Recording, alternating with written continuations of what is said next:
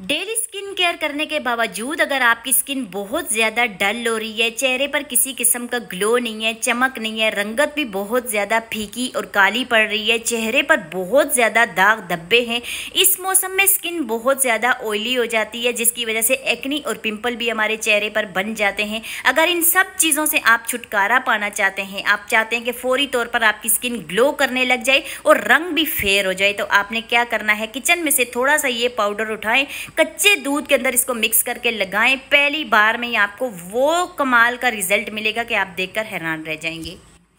असलकुम कैसे हैं आप सब? मैं उम्मीद करती हूँ सब हैरियत से होंगे। तो इस रेमेडी को तैयार करने के लिए सबसे पहले एक बाउल के अंदर तकरीबन फोर टेबल स्पून हम कच्चे दूध के ले लेंगे। दूध में होता है लेक्टिक एसिड जो हमारी स्किन को लाइट एंड ब्राइट करता है स्किन को ग्लोइंग बनाता है और स्किन की रिंकल फाइन लाइंस को ख़त्म करके स्किन को जवान बनाता है।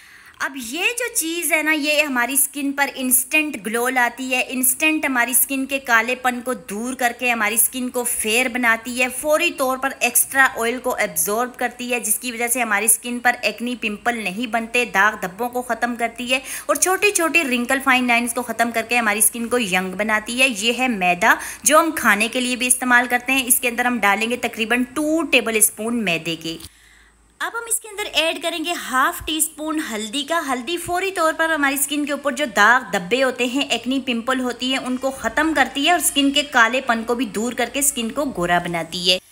अब हम इसके अंदर ऐड करेंगे मेरा फेवरेट मॉइस्चराइज़र एलोवेरा जेल अगर आपके घर में प्लांट का एलोवेरा जेल है, आप वो भी यूज़ कर सकते हैं। नहीं है तो बाजारी एलोवेरा जेल का वन टेबल स्पून आपने इसके अंदर भरकर डाल देना है। अब इन सारी चीज़ों को आपने अच्छी तरह से मिक्स कर लेना है। इसको लगाना किस तरह से है? कितनी देर तक लगाना है? कितने दिन बाद इसको यूज़ करना है? वो डिटेल के साथ मैं आपके साथ वीडियो में शेयर करूँगी।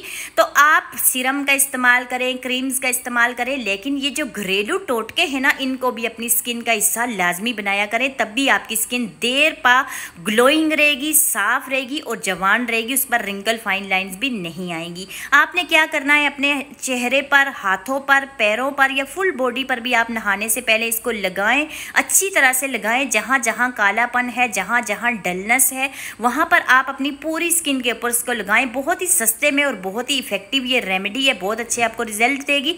पंद्रह बीस मिनट तक लगाएँ, जब ये अच्छी तरह से सूख जाए, उसके बाद आप इसको नॉर्मल पानी के साथ वॉश कर लें। धोने के बाद आपको कुछ ऐसा रिज़ल्ट मिलेगा। इस रेमेडी का कोई भी साइड इफ़ेक्ट नहीं है। तमाम चीज़ें हमने नेचुरल इस्तेमाल की हैं हर्बल इस्तेमाल की हैं। इसको ओल्ड स्किन टाइप के लोग यूज़ कर सकते हैं और हर उम्र के लोग जो है ना इसको इस्तेमाल कर सकते हैं। अगर आज की वीडियो अच्छी लगी हो तो इसको लाइक शेयर लाजमी करें। मैं मिलूँगी नेक्स्ट वीडियो में। तब तक के लिए